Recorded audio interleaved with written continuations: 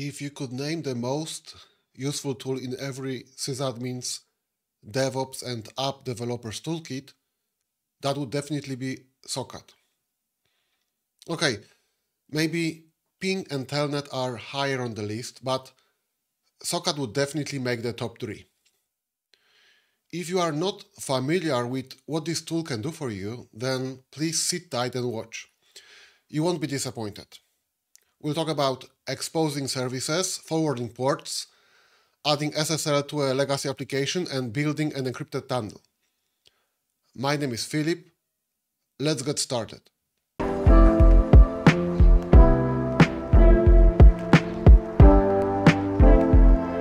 Socat is a versatile networking tool that allows you for bidirectional data transfers between two endpoints, like processes, files, sockets, and more. It's often used for custom data transfer solutions, network testing, debugging. It supports multiple protocols, encryption, authentication, port forwarding, proxying, and much more. Today we just touch the tip of the mountain. Socat expects a source as the first parameter with some optional switches for that source and the destination with some optional switches as the second parameter. As the source, we can specify dash to indicate standard input, TCP4 listen to indicate we want to accept TCP connection over IPv4 protocol on a specific port, TCP6 listen to indicate we want to accept connections on IPv6 protocol, uh, TCP listen to indicate we want to accept TCP connections on both IPv4 and IPv6. OpenSSL listen to indicate we want to listen for TLS connection on specific port. And of course, many more like files, processes, UDP, named pipes, pseudo terminals, Unix domain sockets, and more. On the destination, you can specify dash as the standard output, TCP4 to indicate you want to connect to a TCP IPv4 endpoint, uh, TCP6 to indicate you want to connect to IPv6 endpoint, uh, TCP to indicate you want to connect to either IPv4 or IPv6 endpoint on a specific IPN port, OpenSSL Connect to indicate you want to connect to TLS endpoint, and many others. Let's begin with a very simple scenario just to familiarize ourselves with how Socat works. Let's imagine having two servers, node 1 and node 2. We'd like to listen on TCP port 8080 on node 2, and whatever we receive, we'd like to display on the screen. On the other hand, we'd like everything that we type from the keyboard on node 1 to be sent to node 2 port 8080. We'll be needing two socat instances. As the source, in the first instance, we would put dash to indicate the source is standard input. As the source for the second instance, we put TCP listen 8080 to indicate that we'll be listening on TCP port 8080. Now as the destination on the first instance, we would put TCP node to 8080 to indicate that whatever we receive should be sent to node 2 on port 8080. As the destination on the second instance, we would put dash to indicate that whatever we receive should be displayed on the standard output. Those are our parameters for two socat instances. First instance will have dash as the source and TCP node 2 as the target. Second instance will have TCP listen as the source and dash as the target. To make it more clear, let me show it to you in practice. I'm going to node 2 and starting socat with TCP listen 8080 as the source to indicate I want to accept a new connection on TCP port 8080 and dash as the destination to indicate I want to display everything I receive to the console. Now I'm going to node 1, starting socat with dash as the source to indicate I want to read from the keyboard and TCP node to 8080 as the target to indicate I want to send everything to the remote location. That is node 2 port 8080, just like a telnet or netcat. Let's send a message from node 1. As you can see, Node 2 got it. Let's send a reply back. Yup, it works. What if we'd like to establish connection to Node 2 from yet another server, in our case, Node 3? Let me try that by executing the same command from Node 3. We got an error. Node 2 is not listening for new connections. Let me draw a diagram to show where we are at. We have three servers, Node 1, Node 2 and Node 3. We'd like Node 2 to listen on port 8080 and whatever it receives to be displayed on the screen. We'd like Node 2 to accept connection from both Node 1 and Node 3 that will send us data from their standard inputs. We'll be running socat processes on all three nodes. Let's figure out parameters that each socat should be running with. Socat 1 source is dash to indicate standard input. Socat 2 source is TCP listen 8080 to indicate we'll be listening on port 8080 for incoming connections. Socat 3 input is also dash as we want to get data from the keyboard. Regarding destination, socat 1 will have TCP node 2 8080 to indicate we want to connect to node 2 port 8080 and push traffic there. Node 2 will have dash as the output as we want to display the traffic on the screen. Node 3 will have identical setup as node 1.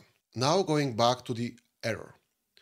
By default, socat is handling only one connection. If you want to spawn more processes for every connection it accepts, you need to add fork option. On top of that, I'm adding a reuse address option because if there is any connection in time wait state, I won't be able to start socat. Okay, looks like there are no more connections in time wait state, so we can start our socat.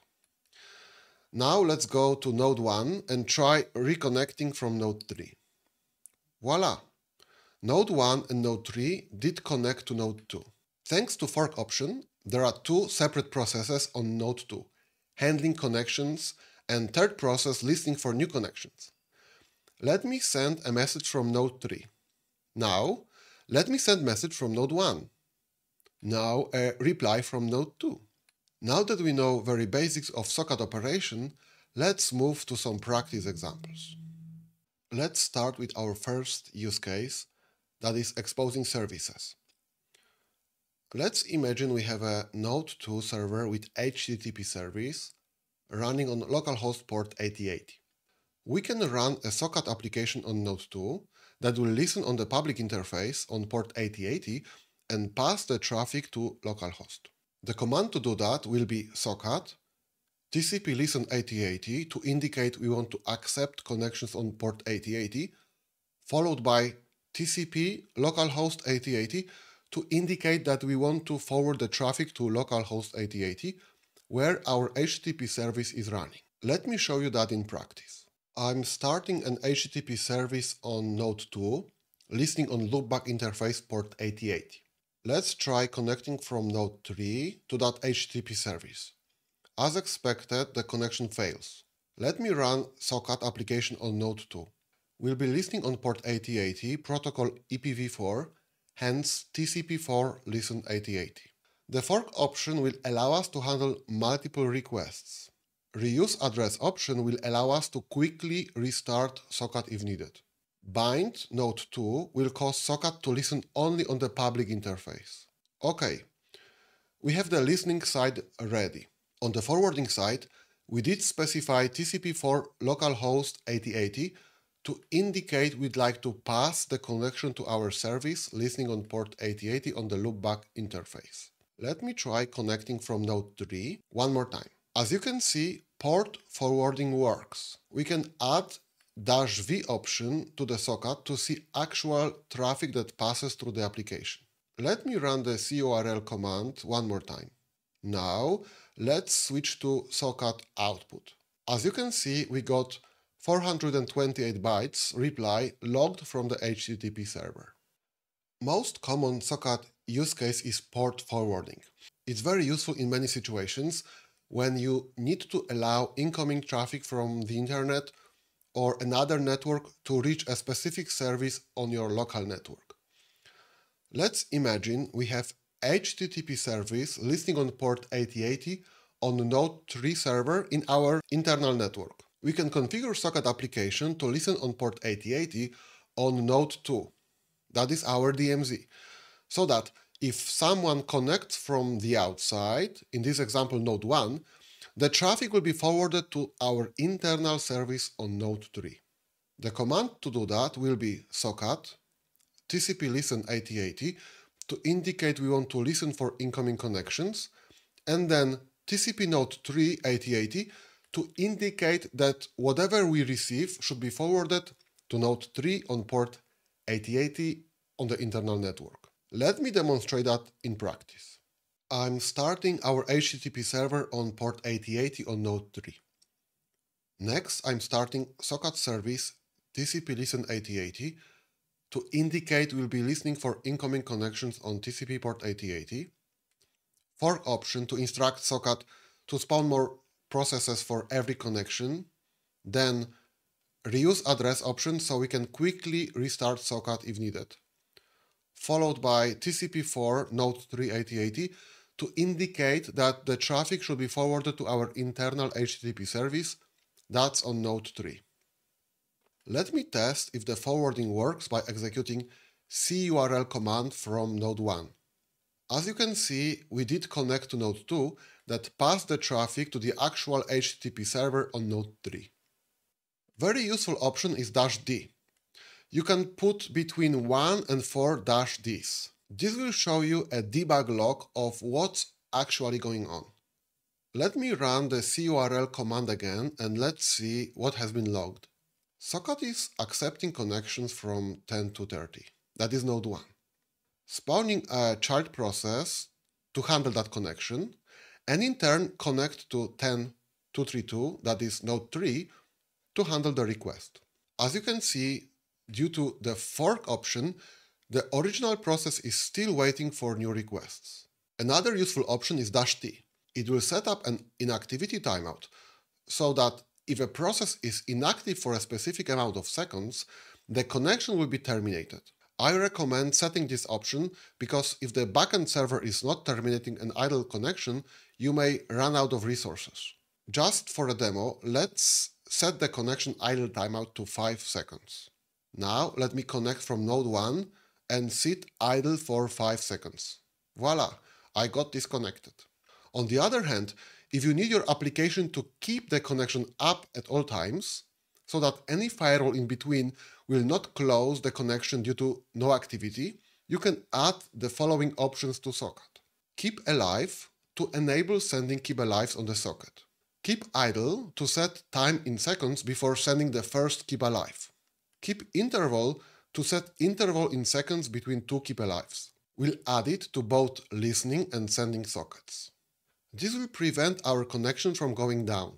Last thing I want to show you in port forwarding is to listen on IPv6 and forward to IPv4. Yes, it's possible.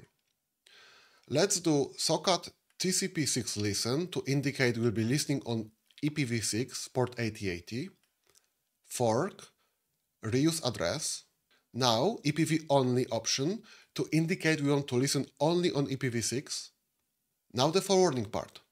TCP4 to indicate we'll be connecting to a IPv4 endpoint, node 3 that is the target, and port 8080. Let me jump back to node 1. Let's check the IPv6 address of node 2. It has only a link local address, but for our demo purposes that's fine. Let me do a curl and provide the IPv6 address and port of node 2. It works. Let's enable debug log on node 2 by adding dash dd. Let's try the connection. In the logs, you can see IPv6 connection got accepted and traffic was forwarded to IPv4 connection on the backend. Now something that will blow your mind away. The socat support for TLS. If you have a legacy application that does not support TLS and you'd like to expose a TLS endpoint, or if you'd like to connect from your legacy application to a TLS endpoint, then Socat can do it on your behalf. Let's say we have HTTP service listening on port 8080 on node 3. It can handle only unencrypted plain traffic. Let's run socat application on node 2 listening on port 8443 with TLS and accepting TLS connections from node 1. Then forwarding the traffic to node 3 on the backend without TLS. Basically, node 2 is doing TLS offloading. Here are the parameters that we'll use on socat to make it happen. At the source, we'll use OpenSSL listen port 8443. As a destination, we'll put TCP node 3 8080 to indicate we want to send the traffic to node 3 on port 8080 without any encryption. Let's set it up in practice. First, I'm starting an HTTP service on node 3. Now we need to generate certificates for both server, that is node 2, and the client, that is node 3. To establish a chain of trust, we'll start by generating CA certification authority that we'll use to sign our certificates with. First, let's generate a self-signed certificate that will be used for our certificate authority. We'll do that with OpenSSL req for new signing request, followed by X509 to indicate it will be a self-signed certificate, days 365 to indicate that the certificate will be valid for one year, new key ED25519 as we would like to create certificate request and private key of ED25519, key out to specify the file name for the private key, nodes not to encrypt the private key, out to specify the file name for the certificate. I'm accepting all the defaults here. As a result, we have root CA SRT, that is our CA certificate, and root CA key, that is our CA key. Now let's create a CSR, that is a certificate signing request for our server, that is Node 2. I'm doing it with OpenSSL req to indicate we like a certificate signing request to be created. New key ED25519 to create both ED255 key along with the signing request. Nodes not to encrypt the private key key out to specify the file name to store the key, and out to specify the file name for the CSR. Important thing is to put the DNS of our server in common name section. If you use IPs, please provide IP here. Okay, our CSR has been created. Nowadays, most services require certificates with SAN subject alternative name present. It's not possible to pass that to OpenSSL from the command line, so let's first create a server X file by putting SAN-DNS as node 2. Let's also create the same file for client by putting SAN-DNS as node 1. If you are using IPs, please put ip.1 equals and then your IP. We'll use those files during the signing process. Finally, let's generate our server certificate based on the signing request. Let's do that by doing OpenSSL X509 as will be signing certificate request, reku to indicate we are providing a certificate signing request as the input, CA to specify our CA certificate, CA key to specify the key that the certificate will be signed with, in option to specify the source file with the certificate signing request out to specify the result file for the signed certificate, days 365 to indicate how long the certificate will be valid for, CA create serial to create a new serial number, ext file to read parameters about SAN from server ext file. Okay, a certificate has been created. In order to pass it to socat, we'll need a certificate to be in PEM format.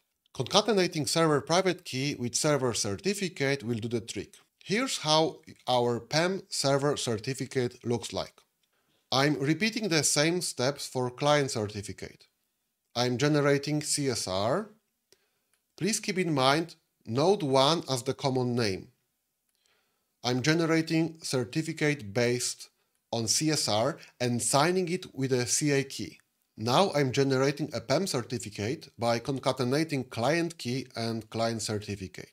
Let's copy the client certificate in PEM format that has both private key and a certificate to node 1. That will be our client. Let's also copy a root CA certificate, just the public part, without the key, to Node 1 as well. PEM certificates will be used to authenticate server to the client and vice versa. Root CA certificate will be used to check that the certificates are valid. Finally, after these long preparations, we have everything we need to start our socat. I'm starting the process with dash dd option to see debug log. Then OpenSSL listen 8443 to indicate we want to listen for TLS connection on port 8443. Reuse address and fork to handle multiple connections. Then I specify server certificate with cert and CA certificate with CA file. Once the connection is established, I want the traffic to be forwarded to node 3 on port 8080 without any encryption. Let's go to node 1 and try to make a request with CURL. I'm doing CURL HTTPS to indicate we'll be doing TLS connection. Then node 2 port 8443 now CA cert to specify a file with our CA certificate and cert to specify our certificate that we'll use to authenticate. It works. In debug logs, we can see that TLS connection was accepted and that data has been forwarded to node 3 without TLS. We can also validate that by adding -v option to the CURL command. It will give us more verbose output. As you can see in the logs, the connection is protected with TLS. It's also possible to use Socat on the client if your application does not support TLS. Let's quickly spin up Socat instance with TCP listen 8080 to indicate we'll be listening for unencrypted connections, followed by OpenSSL connect node 2 8443 to indicate we'll be forwarding traffic to TLS endpoint listening on node port 8443. Let's provide our certificate and CA certificate. Let's put the process in background. Lastly, I'm running the CURL command to a non-TLS localhost endpoint.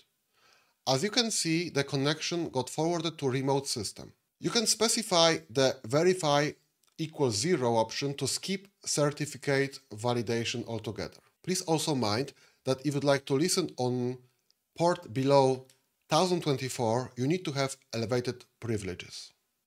Because we have all the certificates set up to perform mutual authentication in place, let's do one more cool thing. We'll set up an encrypted tunnel between node 1 and node 2. On node 2, we'll start with sudo, as we'll be adding a new interface, so it requires elevated privileges. Then OpenSSL listen 8443, as we'll be listening for new connections. Reuse address and fork to handle multiple connections. Cert to specify server certificate and CA file to specify CA certificate. Now on the other side, let's do TUN to indicate we want a new tunneling interface to be created. Let's specify the interface IP and up to indicate we want the interface to be up. Let's repeat the same step on node 1. We want the tunneling interface to be created. We'll specify the IP. We want the interface to be up. We want socat to connect with SSL to node 2 port 8443, cert to specify client certificate file, and CA file to specify CA certificate. As you can see, a new interface has been created on Node 2. Let's check Node 1. Here we also can see the interface up. Let's ping the other end of the tunnel. It works. Let's run iperf as a server on Node 2 and run speed test from Node 1. All works. We could use this tunnel to route traffic. Amazing.